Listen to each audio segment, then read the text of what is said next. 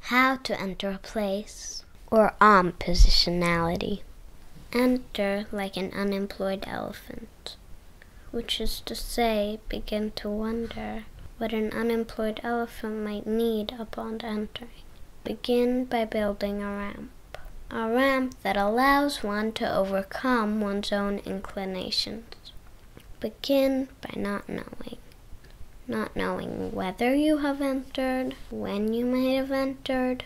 Begin by being sure you will not know when exit has been achieved. Someone will have to tell you to point it out or to point up, and for you to look out instead.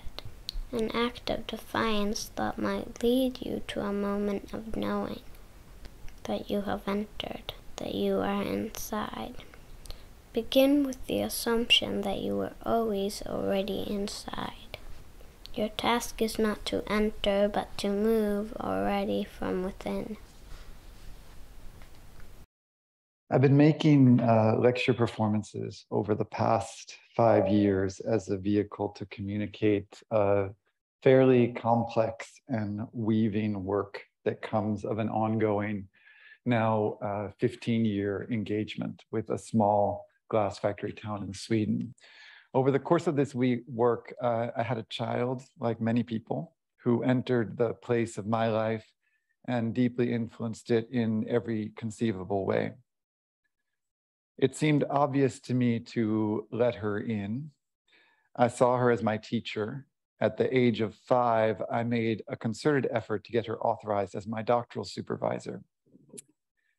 When people have asked me why I use my daughter in my performances, I've struggled to find a satisfying answer. As I prepared this audio clip for you today and thought to myself, why do I want to enter this room in Sydney, Australia, led by the voice of my then seven year old child. I found myself thinking about the work of a colleague that I often share when working with students who are newer to the field. It's a piece made by the Portland, Oregon based artist Harrell Fletcher that he made in 2006 at a chateau and sculpture park in Brittany, France. Harrell was asked to make a work for their park mostly full of minimalist metal monuments. And he decided to ask visitors to the park what they thought should be in the park. Those who had ideas, uh, he asked them to precise them by making a drawing, specifying dimensions and materials. One eight-year-old boy named Corentin proposed a work in the form of a solid gold turtle painted green.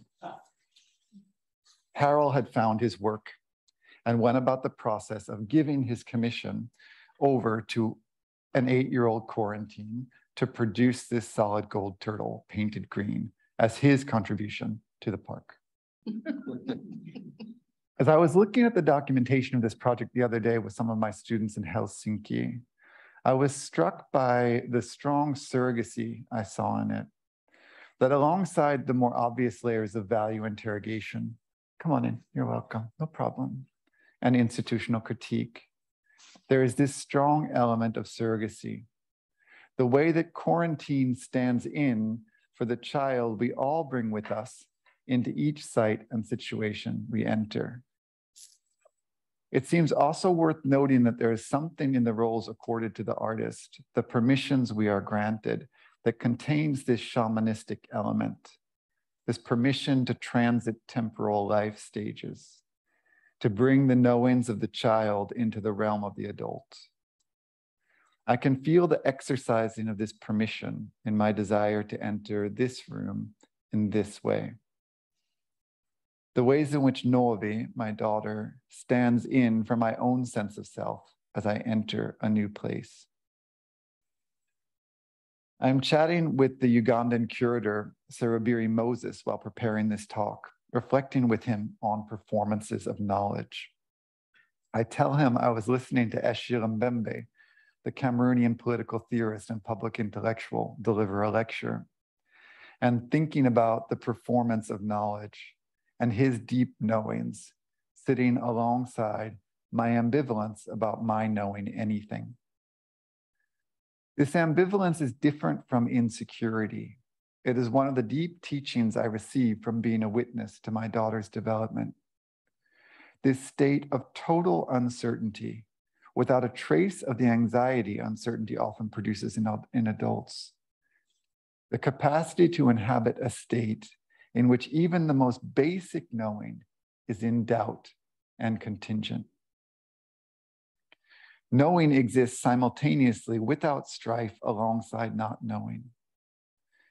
This state that children can inhabit so intuitively at a particular moment in life feels like a profound truth worth pausing on as we embark on this exploration of how to enter a place, particularly in an academic institution dedicated to the pursuit of knowledge and simultaneously deeply attached to certain philosophies of knowing. To clarify this a little further, there was a brief, beautiful period when my daughter would frame almost any statement as a question, like, This is a cup? Or, We are together? And there we were, together and not together, in the truth of this state she was inhabiting and declaring. Here we are in that state, attempting to think how to enter a place. I've been doing this work for a little while now, and like anyone who has done anything particular for long enough, you wind up in a somewhat lonely place. And it can be hard to figure out how to invite someone into the questions you are inhabiting. I'm trying my best, so if I fail, maybe you can help. I introduced this work I have been doing in an online seminar that was part of the Gilbert Fellowship in early May of this year. In that talk, I tried to bring the online audience into the work through a book I worked on, this one here, that has been uh, released recently. Today, I'd like to try a slightly different method, but as many of you were not at the seminar, I will present some of the same work. The works I make have a lot of layers, and they are not one thing. They don't have a point, and they don't yet know what they know which is not to say they don't know anything. So, this work that we are doing here today is very important. And my hope would be that you could adopt a posture of being with the work as a curious, vulnerable being that knows and does not know. This is, I think, why questions and live presentation remain so important. They're an opportunity to destabilize the attempt to know the work that my presentation inevitably performs. So I look forward to being with the work with you. On a map, you could find Rejmyre here. You actually can't see the space between Rejmyre and here on a spherical map without moving.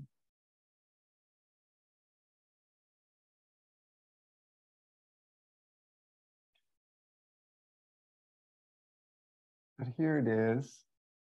And here it is in the more conventional orientation. Surrounded by lakes and forest in the region of Östergötland. A small factory town of about 900 people. If anybody doubts the uh, ideological position of Google Earth, this is its default setting.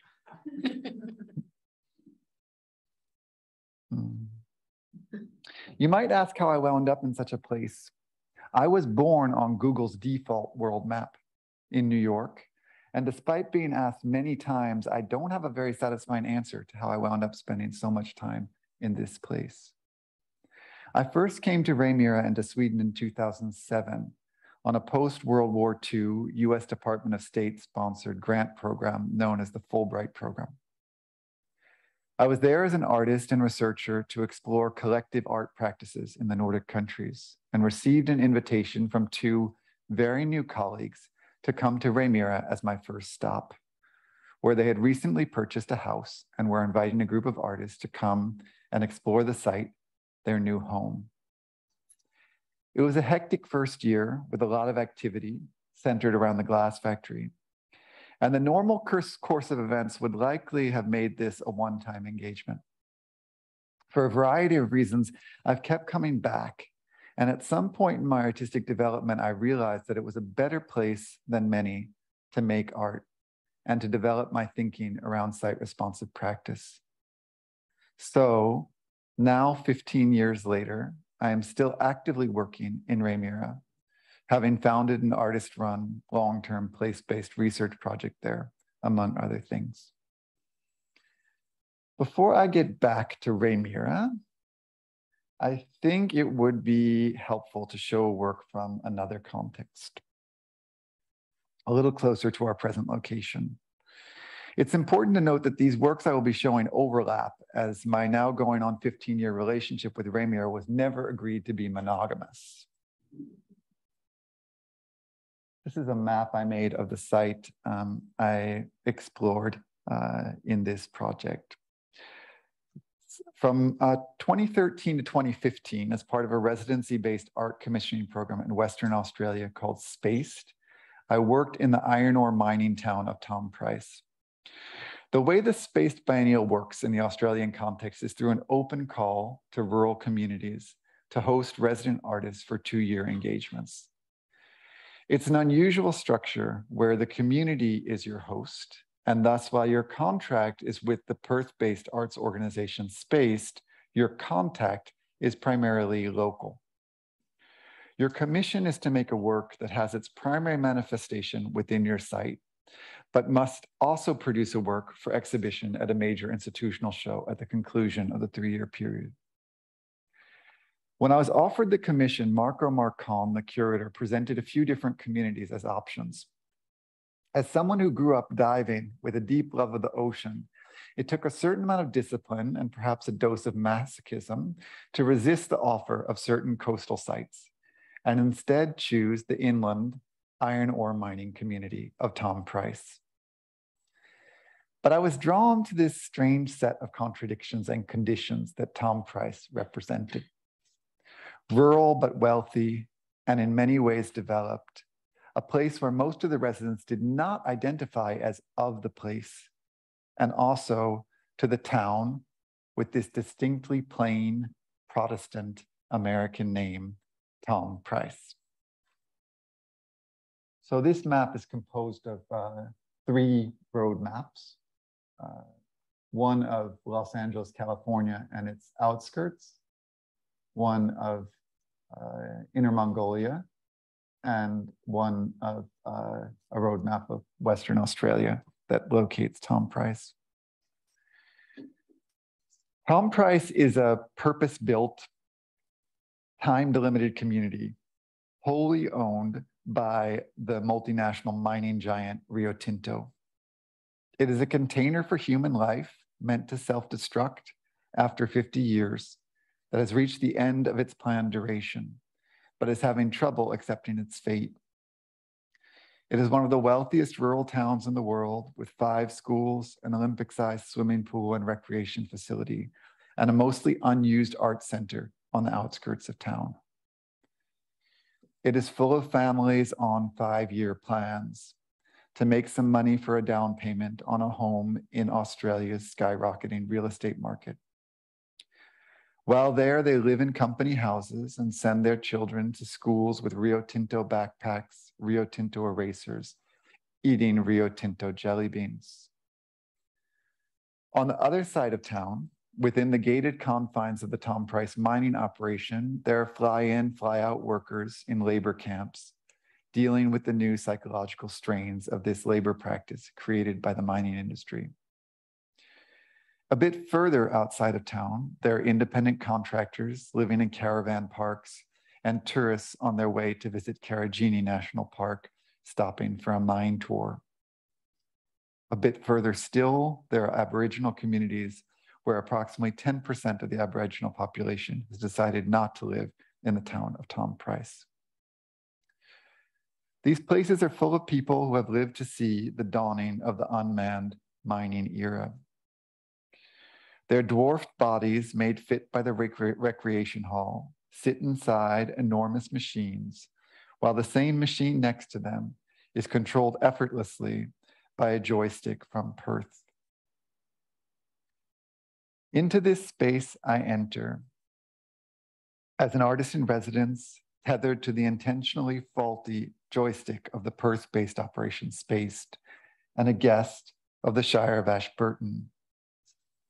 I'm an American artist in a town founded by American greed and named after an American man who purportedly made it all happen. Tom Price was founded in the late 1960s. One story tells us of a letter Thomas Moore Price wrote back to Henry Kaiser of the great American steel company Kaiser Steel, based in Fontana, California. The letter he wrote as he flew over the Pilbara included this statement God made these mountains of iron ore, and if we can't make a mountain of money from them, then God will have wasted his time. this got things moving back at Kaiser Steel, where they were building a great monument to American industry in the form of a $267 million steel manufacturing plant, the most advanced the world had seen. With time, the iron ore flowed from a mine and town, both named Tom Price, to this facility in California. But by the early 1980s, most of the American steel industry and Kaiser Steel along with it was bankrupt. Kaiser sold the great Kaiser steel mill to a uh, uh, for, uh, for about a tenth of what they paid to build it, around $20 million, to Beijing Capital Iron and Steel, who launched into a plan to send 300 workers from China to Los Angeles to take the mill apart piece by piece and float it to southern China, where it would once again take shape.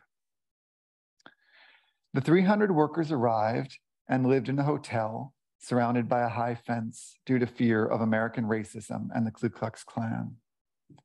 It took them a year, but they accomplished their task, and the mill floated back to China, where it lingered in pieces in several suburbs, waiting out intense opposition by several of the proposed host communities in China to the environmental impact of resurrecting it near their homes. Finally, it found a new willing recipient in the industrial city of Baotou, Inner Mongolia, where it now stands, operates, and continues to receive its iron ore from the town of Tom Price, Western Australia. During my first month long research residency in Tom Price, I shared a home with a contract manager for Rio Tinto. She lived uneasily during my time there with the threat of being laid off in the latest round of massive layoffs. There were three rounds during my time in, Tom Price, affecting Rio's sprawling mining operation in the region, of which Tom Price is just one part. The last layoff was of 3,000 people, the size of the entire workforce of the Tom Price mine. During this period, while everyone was else uh, around me went to their shift in the mine and ate Rio Tinto meals, or to teach at Tom Price's five schools, or to their public service positions at the Shire, I lived my odd little life, taking night and early morning walks in the spectacular desert landscape, reading through the archives of the town, meditating, cooking, and accepting every invitation that came my way to engage with the people around me. I became friends with a local radio broadcaster and convened some sound workshops in nearby communities. It was a hard place to be a beggar, as the curator characterized the role of the resident artist in his program. To beg in a place where everyone has come to get rich and to have their time valued. From the site, understood to include me, I culled a series of narrative fragments, little pieces of story about the size of a single chunk of high grade iron ore. In order for a mining operation to proceed, to be economically worthwhile, the iron ore must be a minimum of 65% pure. I applied this same metric to the quality control of the stories I mined from the site. I then sent these mined minimum 65% pure fragments of story off to China to be processed by a Chinese opera company and a landscape painter into a classical Peking opera and a Chinese landscape painting that each told the complex story of this town, founded in American greed and ambition, and spending its last years servicing an aging American steel plant in China's Inner Mongolia. For my follow-up residency period, I attended final rehearsals with the Chinese Opera Company in Taiwan, met with the landscape painter, and later on in the month brought the Chinese opera back to Tom Price to be performed for the Tom Price community at the foot of Mount Nameless, the mountain that divides the town from the mining operation. The landscape painting was sent directly from the painter to the Western Australia Museum for an exhibition in the spring of 2015. These are some images of the, the poster for the opera in the local Coles. These are the uh, two main characters in the opera. This is Tom Price on our right and uh, Shirley Price's daughter, on our left. Uh, it's a challenging thing to translate um, uh, this kind of uh, work into uh, Peking opera because there are only stock characters. The scene from the uh, recounting of the letter that I read earlier. And some process images of uh, working with the landscape painter to develop those works. This is an early sketch for the Fontana steel mill and the shipping of the components, the boats being used to ship the components. And this is a rendering of the final uh, Fontana mill uh, panel of the Mount Nameless uh, Tom Price panel and the uh, Bow to Inner Mongolia panel. Final rendering of the triptych as it was exhibited uh, at the Western Australian Museum in, in Perth, along with the documentation of the opera. As I look back on the results, I realized that I was doing something that the poet and play playwright Erik Ehn refers to as developing a production process capable of editing out the influence of my impure imagination. I sent these narrative fragments full of things I found intriguing. You may have read some while I was speaking. Off to China, and they sent back scripts for what were essentially tribute narratives, tributes to Tom Price and the legacy of uh, Kaiser Steel, stripped of overt criticality and embellishments. Making a contemporary Peking opera is also challenging, as I was saying, as there are no new characters in this aging form. So the characters of Tom Price and his daughter Shirley Price had to be translated into stock characters. I was interested in these forms, the Peking opera and the Chinese landscapes, as akin to iron ore, having a kinship with iron ore as resources embedded in the Chinese landscape that I could dig up and use to process this narrative ore from Tom Price. I saw my work as a kind of reenactment or continuation of the gesture that had been performed at this site. Mining, for all its technological prowess and development, is in many ways a primal activity. To dig out one's own or someone else's insides literally the ground beneath our feet, to take a mountain and turn it into a hole in the ground and ship it off to somewhere that mountain is deemed more valuable, to trade our substance for other substance. Very recently, I've also been thinking about it as related to the practice of hunting and gathering that has received some art historical attention of late. In preparing this talk, I found myself pausing on this quote from the political theorist Achille Mbembe, who I mentioned in my introduction. He writes, it may be that the economy, every economy, with all its logical and technical aspects, ultimately boils down to just two activities, hunting and gathering. And that despite all appearances, we have never really moved beyond these. Now let's turn our attention back to Rejmyre. Here's an image of the factory. It was established in 1810 in the wake of the Russian-Swedish War, in which Sweden lost control of Finland to Russia. And along with that loss, Sweden lost its glass industries. This resulted in something of a glass rush, in which a number of different glass industries were developed in Sweden. Almost all of them have now outsourced their commercial glass production and exist as global brands. Rejmyre took a different path. unusual in the Swedish context in that it carries on the struggle to find a right scale for a commercial industrial glass factory to make glass products in Sweden. Like many industries, they have turned to tourism, especially essentially rendering the labor of their workers as a performance, as one way to supplement the income from their production by extracting further value from this labor. Despite this further extraction, it has been an economic struggle, and the business of the factory has gone bankrupt multiple times over the time I have been working there. In 2015, I launched a new stage of my work there that I called Performing Labor. It's a somewhat elaborate project that radiates out from an attempt to create a set of conditions in which I and a group of colleagues could consider the evolving state of labor art, craft, industrial, and tourist labor within the context of the Rejmyre glass factory.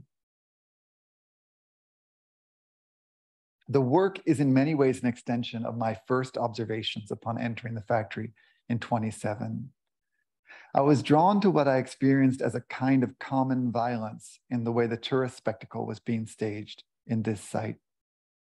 I wanted to make craft of this violence, to enter it, to become its subject and object as a way of knowing something about this place.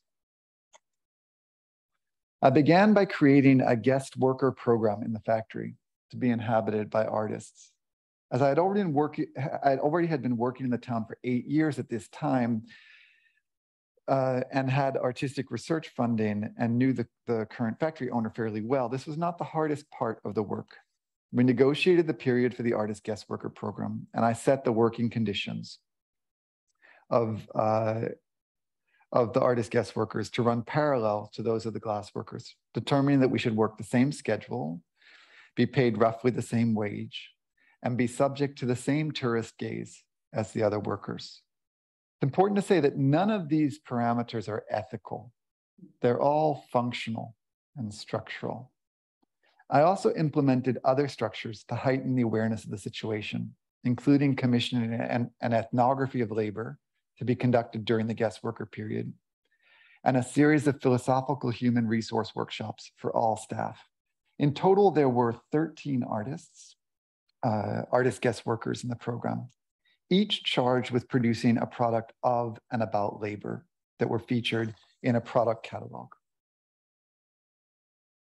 One of the participant art uh, artists was Roland Backen. Um, in this presentation, I'm focusing on the forms and my own contributions to them, not the other artists' work that was involved.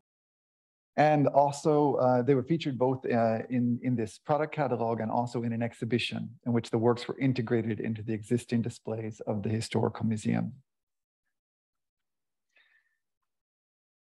Uh, these images show one of the two sites where the work was located. This is the workers' break table in the factory, which has, in the time I have been there, always been strewn with an assortment of product catalogs. I was interested in how these objects were used and engaged with in the space of the frequent short breaks the glass workers take to break up a physically demanding work process and wanted to engage this space as a site of analysis of the research results from the performing labor period. The product catalog I produced was inserted into the pile of existing catalogs to remain there until someone removed it. Last I checked, now five years later, it is still there. I was interested in both of these forms the product catalog embedded in the context of the break table, and the encounter with the objects embedded in the existing narrative of the Historical Museum as a means of rearticulating the practice of research analysis. If traditionally the analysis of research results is a knowing act performed by the researcher who is authorized to think and know, then what does an unknowing analysis look like and permission? I sometimes refer to this structure that I'm interested in in relation to art and its audiences as an encounter between an accidental audience and an object of uncertain origin. I am deeply interested in this state of encounter, both as a strategy for exhibiting art and as a way of rethinking the project of knowing. So I was interested in this product catalog, slipped into a break table in the factory full of aging product catalogs, and in casting the act of research analysis into this space and time.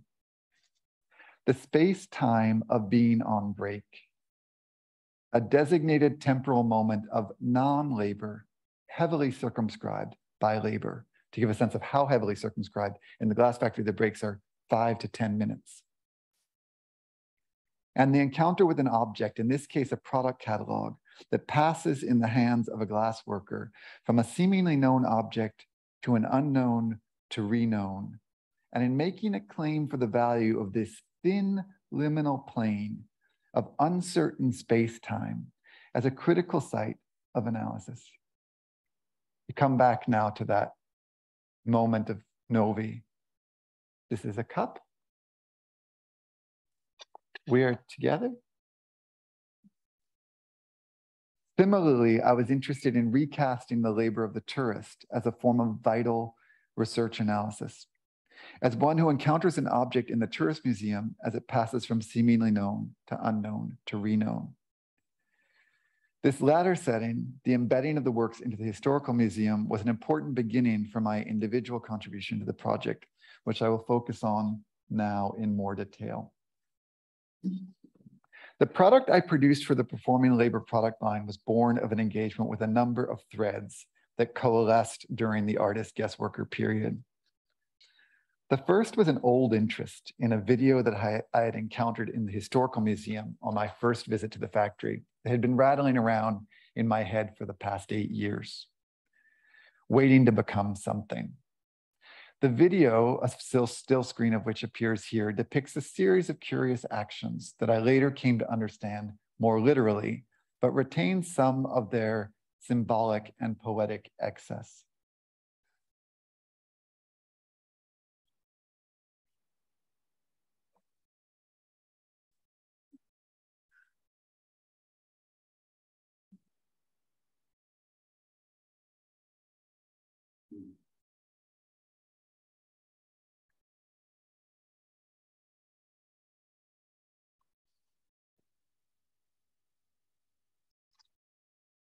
The video depicts a group of people assembling on a frozen lake, cutting a hole in the ice, a diver entering a hole, and an object being pulled out and examined. The video is then in turn displayed in the historical museum, along with the objects they found, and tells the story of this cable car cart that used to run through the region, carrying raw materials in and glass products out. At some point in time, one of these carts went astray and fell into the nearby lake, depositing its cargo with it. Another thread was this building across the street from the factory. You would look out on it when you sat on the front steps of the factory on break. It used to be a hostel and was instrumental to our early programs in Rejmyre as an affordable place to house the groups of artists we assembled here for workshops and residencies. The hostel had been closed to tourists and our artist groups and converted in 2013 into a housing for newly arrived people, primarily fleeing wars in Syria and Afghanistan. This was a familiar phenomenon during the period where rural sites were repurposed as temporary refuges for newly arrived people, while implicitly better housing was built for them in nearby cities. So for the performing labor period, we commuted from the nearby village of Kalbo each morning at 6.15 a.m. Do you remember this? To arrive on time for our 6.45 a.m. shift.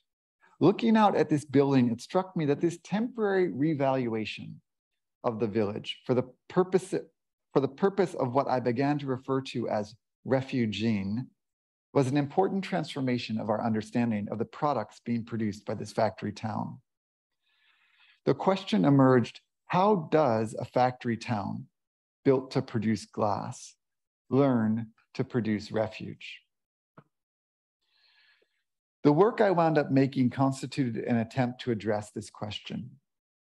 I began to think to myself that one practice, that one way to practice this practice of refuging, a transformation of the product from being a place, uh, of our understanding of it from being a place or person to a practice or set of actions, would be to operate on time. To create a condition in which the one who comes seeking refuge finds that they were already there. Another important thread that emerged during this time was another video. I was both an artist guest worker and somehow by default, some kind of manager of the guest worker program.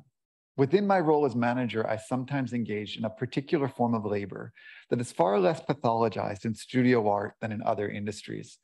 This involves doing things deemed non-work activities during what is deemed work time on my computer such that they could, from the outside, viewed by a passing tourist or a glass worker or another artist guest worker, resemble productive work. One of these activities that I assign myself was to watch tourist videos from other places. I have a long standing interest in tourist videos as a form, and I found myself drawn to a curious video posted to YouTube produced by a couple on their honeymoon. Hello.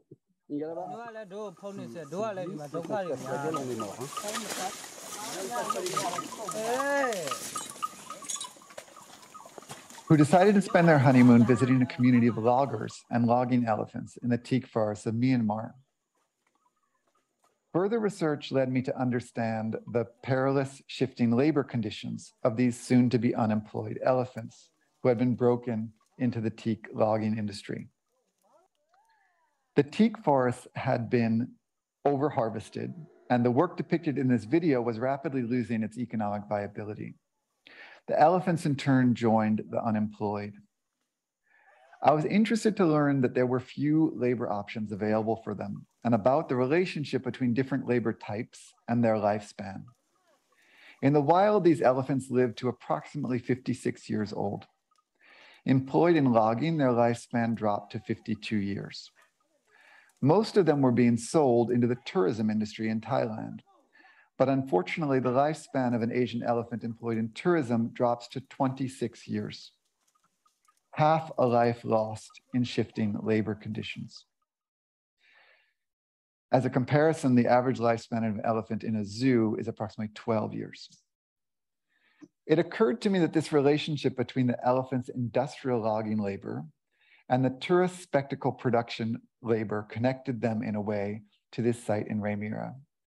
And I set out to explore what it would mean to bring a group of them there to make a refuge for them in Rejmyre. I began this work through the performing labor product line and set out to make a product that experimented with this temporal operation I described above. To perform this act of refuging, by creating a condition in which the one who comes seeking refuge, in this case, a small herd of unemployed logging elephants from Myanmar, finds that they were already there in Rejmyre. I did this through something of a media artist wordplay. In the media production industries, DVDs, most of you are, you're all old enough to know a DVD, right? Um, uh, DVDs were produced in two ways by consumers through laser etching or burning, and industrially by pressing. For the pressing technique, you use an original that is called a glass master. The same term used to refer to those in the highest status role in a glass factory. So I set out to explore the production of a glass master. I wanted to take this tourist video that I found of the logging elephants in Myanmar and make a glass master of it through the assistance of another kind of glass master. I embarked on a process of learning how to make glass plates and designed a process for making them in private, making an enclosed space on the factory floor where the glass workers could make glass without being seen. Inside this space, we developed a process to make glass plates. The process involved pouring a glass gather onto a steel plate and then taking a moistened stick and pressing the glass mass from above, for as long as the worker could stand the steam coming off the stick. It had some relationship to ritual bathing practices, and I developed a short meditation that would that we would do prior to making glass in this way that brought the workers back to the bodily experience of their first contact with glass as a material. The glass plates that emerged from this process had a curious texture, not unlike that of elephant skin. While I was developing this process and producing these plates, I had located and was negotiating with a DVD pressing facility to try to convince them to put my handmade glass plate into the machinery used to produce a glass master and to make a master of this YouTube video. The technicians were interested and tried hard to make it possible, but their machinery was extremely sensitive and would not accept anything but a perfectly flat glass substrate. Fortunately, I had been exploring other options and found a vinyl pressing company in France that made clear vinyl recordings. I sent them the audio extracted from the YouTube video, and they sent back a clear vinyl recording containing the sounds of this small group of elephants, soon to be unemployed, engaging in their last logging labors. I sandblasted a recess into one of the glass plates forged a steel frame in the workshop of the blacksmith next to the glassworks, and made this thing that I called anything as my contribution to the performing labor product line. The description of the product read as follows Title Anything made to be lost and perhaps later found, perhaps at the bottom of a lake, perhaps in early spring, perhaps when the ice is still thick and clear product description. Any things are best misunderstood a hundred years later, falling from a cable car of history into a lake of possible meanings. Rejmyre is a factory town first conceived in 1810 as a refuge, a refuge for Swedish glass. Now perhaps a last refuge, a new refuge. We are the resident refugees, charged with the difficult craft of giving and taking refuge. A track once engaged is hard to exit, like the desire to exit itself and freely fall with a splash into the water. I then worked with the members of the Historical Society and asked them to take me on their skiff to the site where they had found the artifacts from the previous ice dive. They took me and waited patiently while I slipped the anything back into history.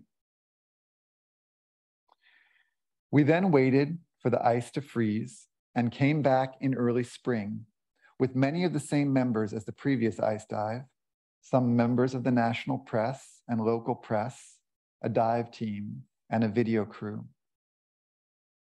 We cut another hole in the ice and entered the water.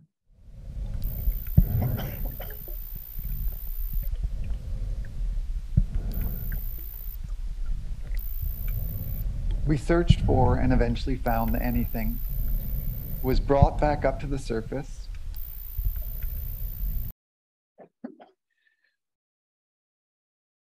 Opened and played on the ice, releasing its sounds over the surface of the Hoon Lake, seeping into the pine forests that surround the factory.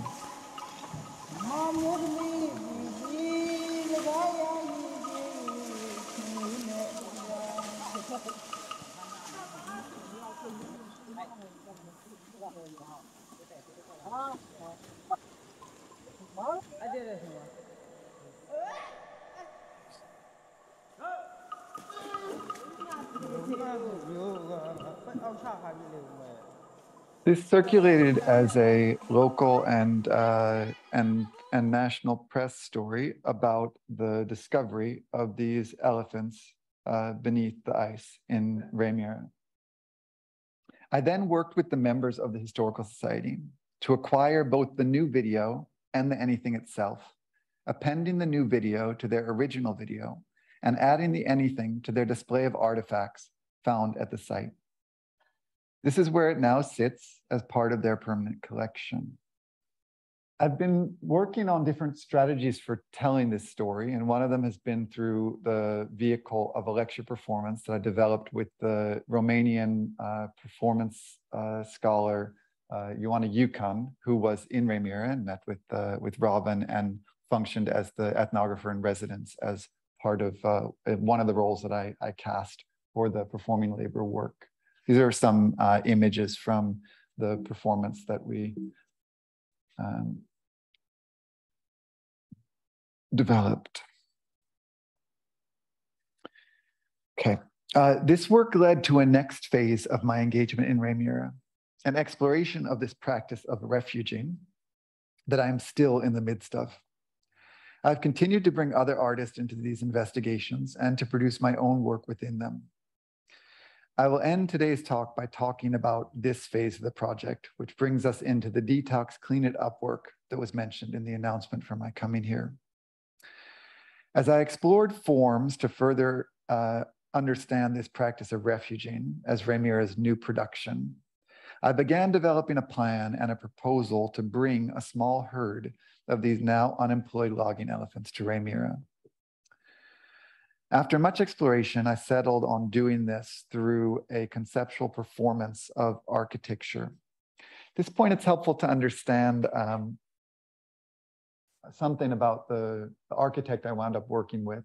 Uh, around this time, I, I, I was uh, invited to serve as a guest professor of artistic research um, in Stockholm, and I was invited to come to this uh, facility and to make something there. And uh, in response to the invitation, I decided that what I wanted to make was that I wanted to pick this thing up and bring it to Rejmyre. And I was really interested in what would happen through a transposition of the values that made possible this structure in Stockholm. Uh, I'm going to show a little video now where I talk about that.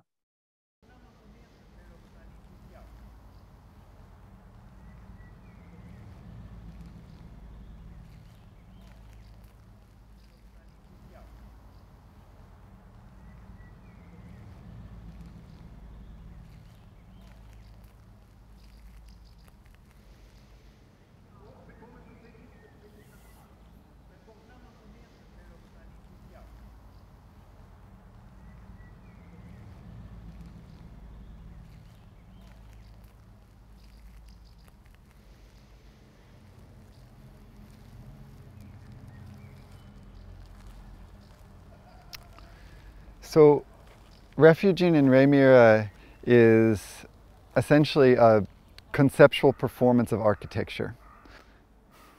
We're standing here on this, this building site and you could say that it's, um, that it's uh, the early stages of, uh, of an architectural project. But as a conceptual performance of, of architecture, it could also be the end stage. It could be done in, in the sense that when, when, you, when you approach a space like this, you, you understand that, that something is going to be built here. Um, and one of the things I'm really interested in in this conceptual performance of architecture is this question of where gets architecture. So like we often think about who gets architecture, but also where gets architecture. And when I first started this project uh, several years ago, I was working in Stockholm and I was invited to make something inside of this uh, really spectacular uh, geodesic pavilion that they had there. It was a dome structure built by the Danish architect Kristoffer Tejlgaard. It was called Dome of Visions, and it was at KTH in Stockholm.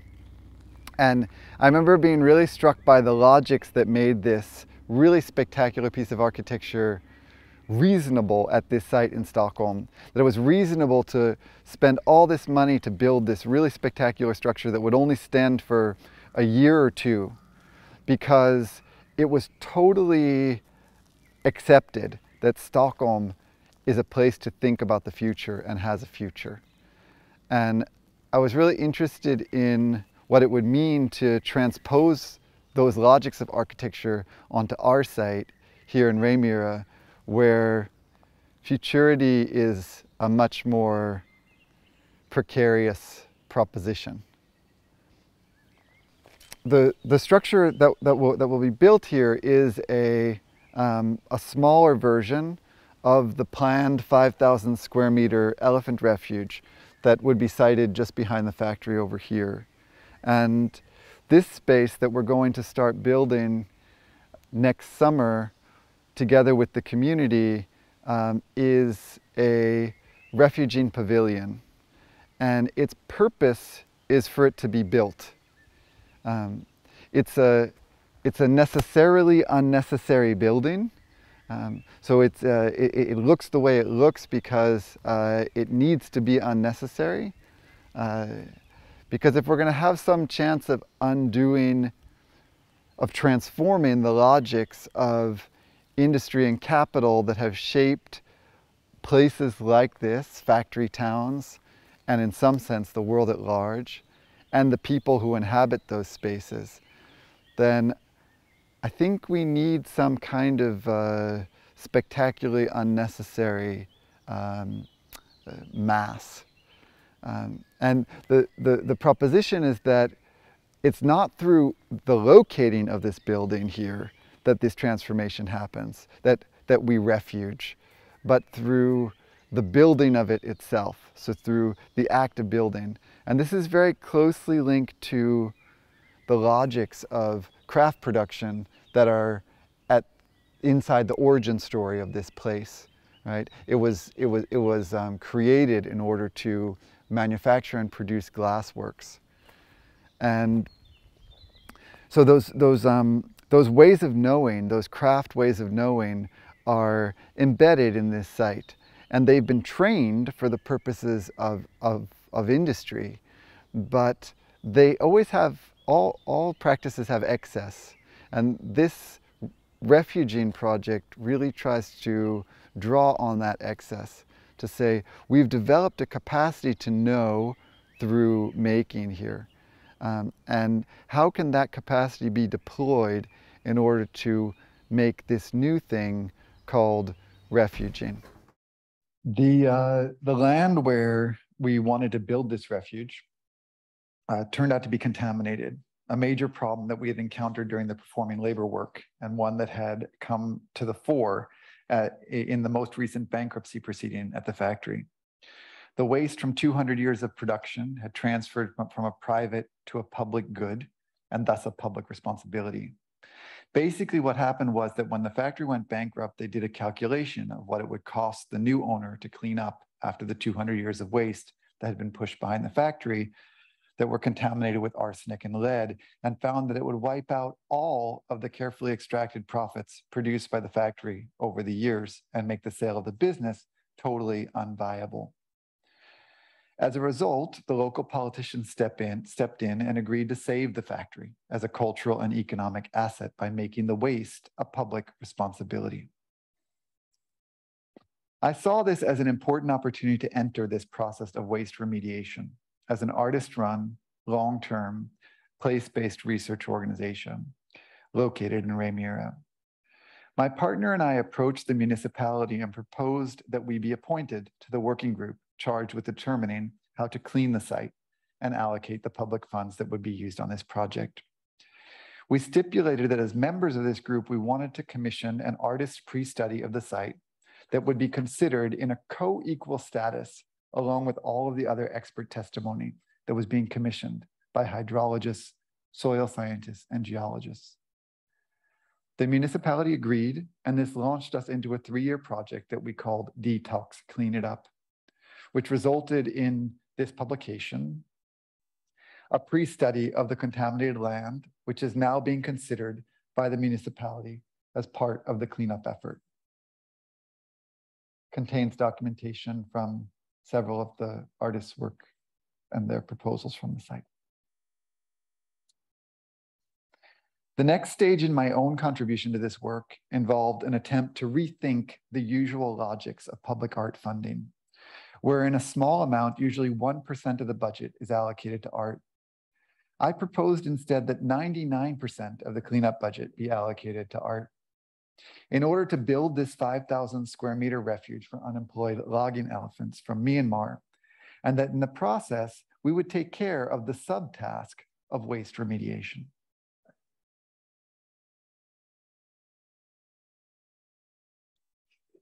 Is from a museum exhibition uh, that collects some of these, these elements and a 100 to 1 uh, model produced by the architect of the proposed 5,000 square meter refuge. Anything and the original YouTube video. A poem I wrote about the project and the, uh, one of the lean Bonacartes. Some more images from the, the lecture performance. I'm going to go through very, very quickly because we're coming short on time. Um, while waiting for the government to advance the very slow research phase, I decided to test out this proposition of refuging through the act of building. This involved an architectural scale community building project that resulted in what I referred to as a smaller refugee pavilion. The community build was realized this past June. There's some uh, of the images from the building permit and uh, images from the building process. The work involved designing and implementing a ritualized building practice. This began with an open invitation to the community to come in whatever state they were. It was vital in my understanding of refuging that we recognize the challenge of this practice and welcome people's resistance, despair, uncertainty as part of the process. I designed a building method working in partnership with the Swedish social choreographer Anna Asplind that involved the use of memories as the building blocks of the architecture. I settled on three types of memories memories of feeling safe, feeling free, and feeling loved, along with their accompanying counter emotions. The practice involved a preparatory act of having gloves put on your hands and then working in a team of two. The builders worked alternating between two roles. One was the role of the person who offers a memory, and the other was the role of the listener.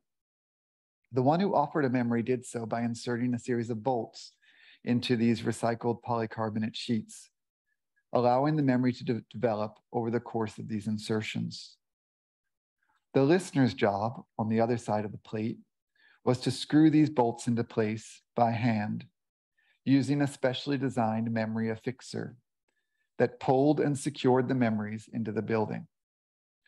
So the result is a pavilion that looks like a piece of architecture, but is really an attempt to practice refuging. I'm going to close with a little um, time-lapse video of the, the build.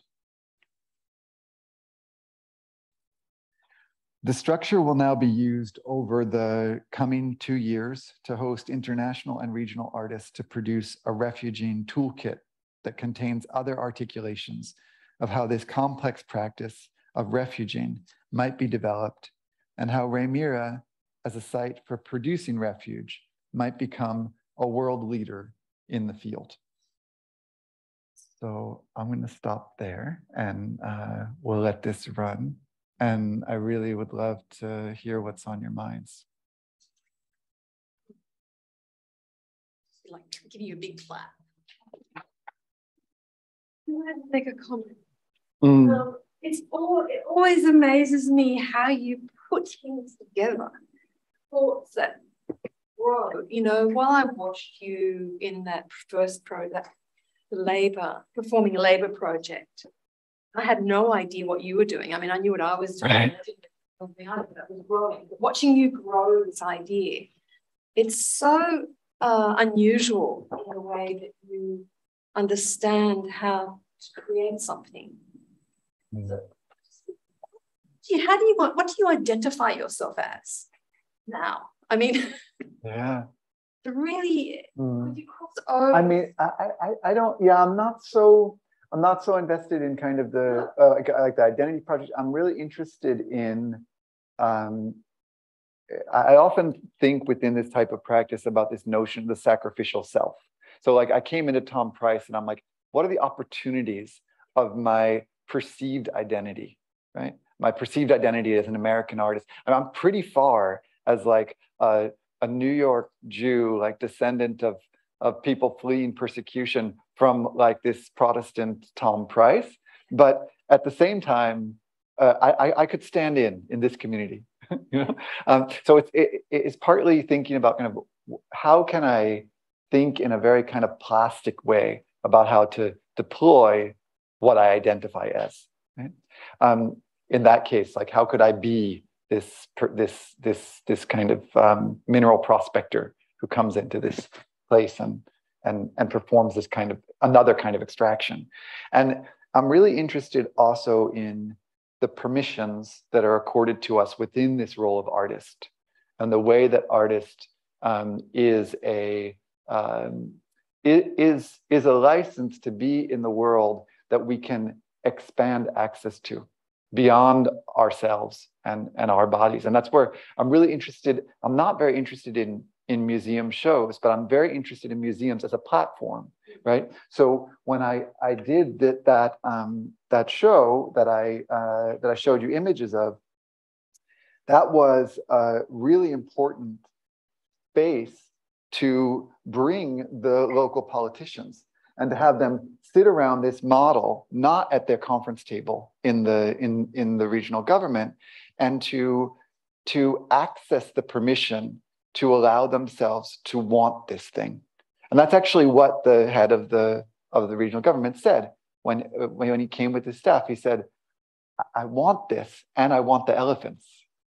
and I don't know that he would have said that if we'd had that meeting at the at, at you know at, at the governmental head. So I, I'm, I'm really interested in those kind of permissions and how we can how we can work with them um, and and use them to expand the um, the scope of, of of of what we deem possible and how we live. I think you cross over so many zones of thought and process. I mean, I definitely had to enter uh, certain kinds of architectural thinking um, through this this project. Um, I just want to open it up yeah, to anyone else who'd like to ask a question. I want to just have a look and see if there's anybody online that wants to ask a question at all. Um, come on, guys. This is the current state of the project. Yeah, and it's a, yeah. last question. so how's it embedded itself? How Mm. how have the community who um, assisted or supported or worked on it, how is it, how is it um, being used? Yeah, so I mean, as I say in the piece, the use is is like the use is the act of building. So it's actually really important to me. Not, I mean, that's that's the kind of one of the operations I'm performing in the work is that normally architecture is permissioned by its program right? In our in architecture, the program is like what the building is for, what it does, right? So what gives what gives permission for architecture to exist is that it has a program. And part of the operation of this work is to deny program, to say there is no program. The program is just for it to be built right? That that and it's really important to permission that as the primary program. Because if we if we say like we're going to come together as a community and make a cultural center because we need a cultural center, or we're going to make an artist residency because we need an artist residency, then we instrumentalize that labor, right? And we we we we, we lose the capacity to actually inhabit and own this act of reevaluation, asking this question about like uh, under on what kinds of of of logics can we revalue ourselves in this place? Oh, you just. I'm just taking. Okay, you're bringing the the, the, the Zoom people up. Okay, yeah, sure. They can. I can see them over here too. I just want to bring them into the room. Sure. Yeah, um, that's nice. Um, so, uh, but at the same time, uh, I'm not dogmatic about those things. So that that part of it happened, yeah. and uh, I know I, I trained a group, an ensemble to uh, be part of this refugee and build team. So we introduced people to the practice. Some of us did it with them, this memory exchange, and it was incredibly intimate and intense. And I was very committed to not documenting that work. I mean, people were basically, um, you know, sharing memories of feeling safe, feeling loved, and feeling free. And it felt like it would be deeply ironic to make that the subject of, of, of documentation. So actually, I didn't allow anyone into the site who wasn't engaged in this refuge. And so I, I had to create a barrier through um, a welcome table where people could learn about the project and then decide if they wanted to enter and participate. And if they did, they received this series of talismans that were actually made by my daughter that represented the building principles of the site. The, the principles were of um, curiosity um, about oneself and, and, and others, uh, a, um, uh, or an acceptance that within this space, passivity and activity uh, were treated as, as equal. Um, there was a third principle that is escaping my mind now. And uh, they, um, they received those in the form of these talismans that were then put into a felt pouch and put around their neck. And that felt pouch also contained the nuts that they would use to pull the memories into the structure. So they would get their memory affixer when they came inside. Um, but so I know a lot about kind of what the experience was of building um, and what people's experience was of building. Um, but in terms of what the facility winds up becoming um, and how it winds up, what kinds of desires people have for it, uh, I don't know. Remains to be seen. Yeah. Hi, uh, Ian Maxwell. and that was fantastic, intoxicating, and quite wonderful. It makes me feel that we're well beyond. you, sort you, uh, you ask what's in our minds. Mm. I want to raise something that was raised back in May when in the seminar. Mm. And for me, it comes down to three propositions that you put to us, which I think are very productive. The not knowing, knowing, and a reconfiguration of epistemology and finding a way to uh, dwell with that, perhaps. Mm-hmm. But the complexity of in this place where we are in Australia of talking about being already there. But the complexity in Australia, a moment in our history, of thinking of, about what it is to enter this place, because we have entered it wrongly. Mm-hmm. Um, and, you know, one potential I see in what you're talking about is a, a playful, a deadly, serious, playful reconfiguring of time. And in a sense, I was thinking about this, well, I'm just writing now as well. But what you're affording us mm. is, is, is about a, a second beginning, perhaps, mm. in this place, where we do start to interrogate what it means for a settler, a settler culture to we misentered. And, and mm. the entire thing that Australia is at the moment is anxiety about mm-hmm. this country. So anyway, that's what's in my yeah. I, I, yeah, I really appreciate that, and I it's um, it's been on my mind a lot coming here and thinking about presenting this work here, and I I, I think it's um, I'm I'm glad that you're glimpsing something in that way. Uh, I should say, like from my perspective, coming to this small factory town in in Sweden, um, where uh, the, the, the structural relations are very different. Right? So I'm really, I'm thinking a lot about what it is to come to Sweden as a refugee and what kind of, of license you have to participate in Swedish history. Right? And, and what happens if, we, if, if you abdicate that to those who, who have been given or, or, uh, or accorded rightful control of that narrative, right? Um, so it's a very different structural relationship and saying, and, and these institutions like these historical societies, they're, they're volunteer organizations. They're composed of different local people who have deep investments in their version of this narrative. And it's really through the, it's one of the things I've really learned as an artist about this kind of practice is it was only through the force of returning there and now 15 years in, in, in returning that I realized the, how dangerous this idea is of fixing uh, history and who has who, who has access to it and just how false it is right that actually there's zero conceit in this work and that's really important to me. I don't say like let's pretend this was part of this dive. I say i've been here for 15 years so the things i've made are obviously part of the history of this factory.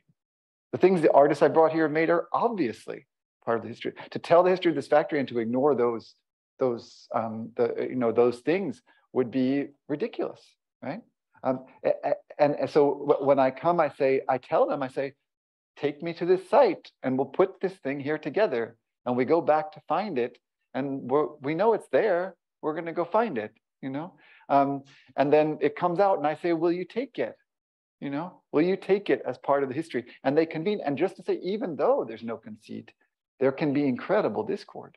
There was a huge upheaval about the man who shot that, the first video, um, is quite famous in the region. He's a former football star, and he was the head of the Historical Society. And even though I had told them all of this, he felt tricked. He, he, when it happened, he realized what it was, and he felt tricked, and he got very angry. He was the head of the Historical Society, and he convened an, uh, an emergency meeting to say about this acquisition. And in the end, the, the, the, the group, the Historical Society, came together and, and despite his opposition, said, we have to accept this object.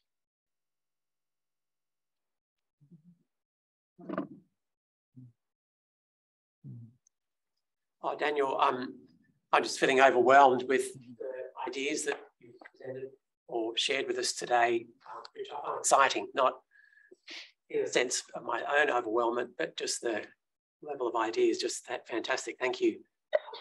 In, in reflecting on what Ian also just asked about those who came before or those who are here before, I'm wondering if you could offer some reflections on uh, those who come after or have come after mm. in relation to, in a way, although periods of time have elapsed through all of these elements that you shared with us today, they're an event or a, an intervention in a sense into a time and a place.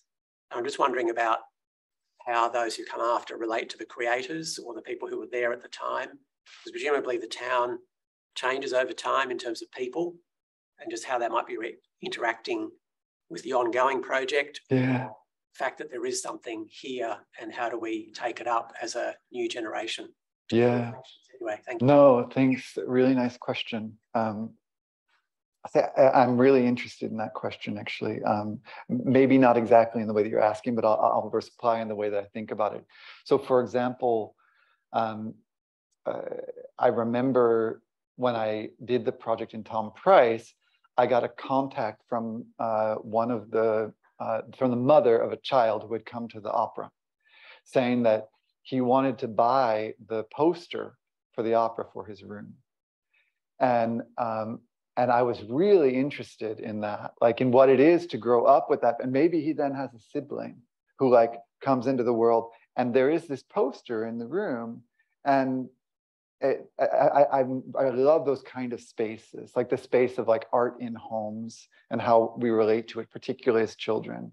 Um, and the, the way that this kind of, the insertion of this narrative creates a kind of space of possibility that then of course it is inevitable. Like there is some relationship between tom price and chinese opera right? Or in china right? And then if you can read the the chinese then you actually can also see the story there and that that relationship exists right? Um, and I, am I'm, I'm really interested in that space of how um, how those who come after uh, encounter a, uh, a work that exists, that exists through it having been called into being, through the effect of it being present in the space. So similarly, you know, when the elephants come, that like people will be, oh yeah, I, I saw on the news that they were here, you know. I saw, or I think someone read something in the paper about this, you know.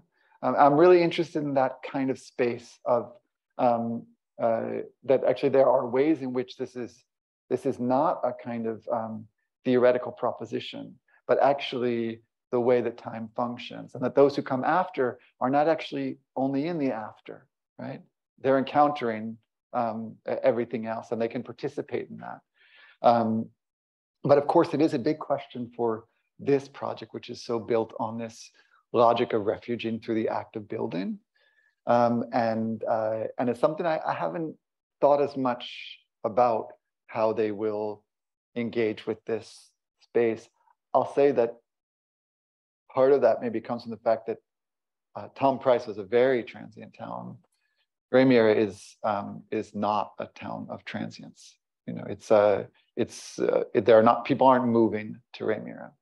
Um, so somebody will, I'm sure somebody does. Um, but uh, because of that dynamic, it wasn't very like at the forefront of my thinking. But I have been thinking a lot about those who didn't participate, and that's part of why this invitation. Um, I thought of sort of like a wedding invitation that I sent to everyone in the town, um, and that as also a kind of um, in that I said you are already part of this work. You know? And my sense that like through that act, like even just through the engagement of, okay, they're building something new in in Rejmyre. Um, I, I was invited. That there's a way in which one has participated, you know, and that invitation might live on in someone's house, on their fridge, or you know, or, yeah. I just want to see if anybody is anybody online wanting to ask a question at all. Don't want to put you in the. Um, mm, yeah, great. Sorry. That's a question. Sorry. That's okay. Go for it. Do you want to continue? You know, there's nobody's putting their hand up. We'll yeah. just do it. We're in the physical space. Is that tension important to you? Like you say that like all of these like this kind of like logic is like very intrinsic to your work, I guess. Like elephants and Nordic countryside. But like does that like is that is it like are you like kind of like revealing attention? Or would you say you're kind of like calming them into a kind of like like whole object as an artwork? What was the last part? I'm sorry. Am i revealing attention or? Like kind of like another word like kind of like putting them together to make them whole i guess. Mm. harm them i guess mm. um Yeah, I, am I'm, I'm not sure if I if I think those things are separate. Um, it sounds, if I understand what you're asking, I would say probably both. Um, there's a, uh, I mean, there's, I, am I'm, I'm, I'm definitely interested in, um, in calling attention, maybe not revealing, but calling attention to to tensions or or some of the work that we that we're in the midst of or reframing that work. Um, and uh, but but also i think in, in a way that is um, that helps us to see that there is actually um, that we've developed a capacity you know that we have you know we, we were called on to perform this act of refuging. And if we if we take it seriously, then we now have a capacity. So three years later, the those who called on us can say, well, we built better housing for people in a better place than where you are. Well, we can say maybe so, but we now know something about how to do this thing called refuging. So we're three years ahead of that place. And, um, and as a result, we, we remain a valuable place to, to do this work. So it's both kind of like activating this tension of the fact that that like we were part of a system of, systemic devaluation and that was just repeated with a new form of extraction. Um, but also offering a way in which another way of inhabiting that in which we might see that the work that we did is um, uh, is of like a, a, kind of value that we that, that of a real value that we that we may be interested in in uh, claiming and inhabiting. Not sure if that answers your question, but a little bit. Mm, yeah. I was really interested in the way that you created this object, this anything, and then through the various processes of merging it, recuperating it, and the way it circulates through the newspaper, you create this sort of um, circuit of affirmation, this invitation, in a sense, that you put out this object, this anything. Once it's been affirmed, only then does it really fully come into being, like fully realized through that circuit of time and mm. and action. And eventually it's uh, fully affirmed in the local museum. Mm. And when I'm looking at this building, I'm wondering whether that's sort of waiting for its um, affirmation as well within the town. Mm. Really beautiful question. Yeah. Um, yeah, I'll think about that. Um, yeah, I, I, the, the, I appreciate the language of affirmation that you're bringing. It's not not a frame that I usually think the work through. So, um, yeah, it's. Um, I mean, I'm I'm I'm very interested in their, um, in as I said, making a claim for these objects having a um, having a rightful place yeah, here. Know, yeah, definitely. Yeah, about yeah, that exactly that they have a kind of agency and this this this object belongs here. So I'm interested in belonging, and but I but I, I, I like this. I'll think about it. Thanks for offering that. Oh, there's a question. Is there a question? Oh, Anne-Marie. Yeah. Anne-Marie. Anne-Marie, do you want to unlock yourself? okay, can you hear me?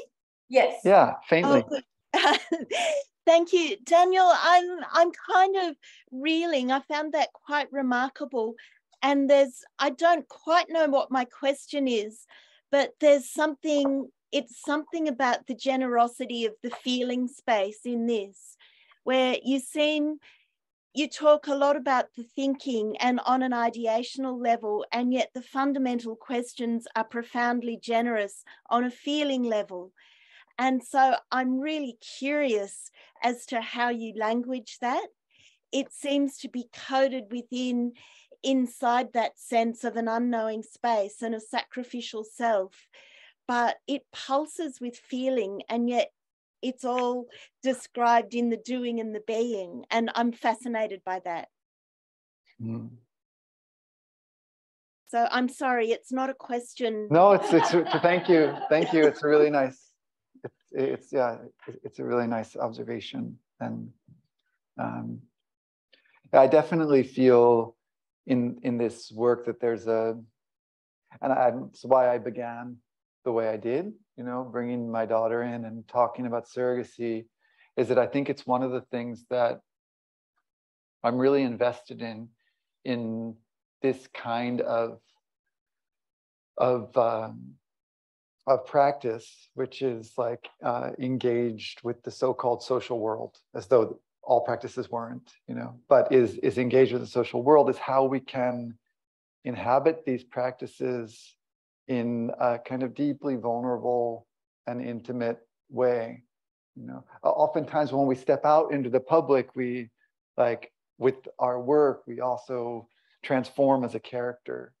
And at the same time as being interested in this kind of sacrificial self, which I think is really um, helpful in relation to the kinds of identity projects that we often bring with us to how to enter a place, which is where, like, you know, uh, we often seek to permission our existence there through some kind of identity marker, right? I belong because I am X, right? Thus, I have the right to be in this place. And I'm really interested in how we can question that and claim other kinds of um, uh, other kinds of permissions and other kinds of rights to belong.